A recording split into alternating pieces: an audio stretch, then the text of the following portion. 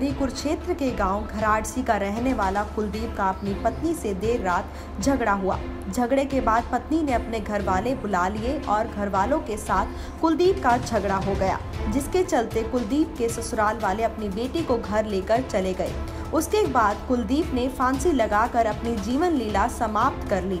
Police के मुताबिक कुलदीप के ससुराल वालों के खिलाफ धारा 323, 306, चौंतीस आईपीसी के तहत मुकदमा दर्ज करवा दिया गया है। जाँच अभी जारी है। कुलदीप का एलएनजेपी हॉस्पिटल में पोस्टमार्टम कराकर परिजनों को शव सौंप दिया गया है। कुलदीप कुमार रामेश्वर का राजसी का।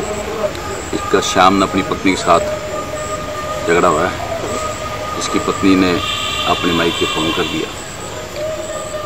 उसके परिवार के गाँव में आ गए उसका उसका भाई और कुलदीप कुमार से झगड़ा करके अपनी लड़की को साथ लेके चले गए। उसके बाद कुलदीप कुमार ने रात को फांसी ले ली जिसमें उसकी मौत हो गई।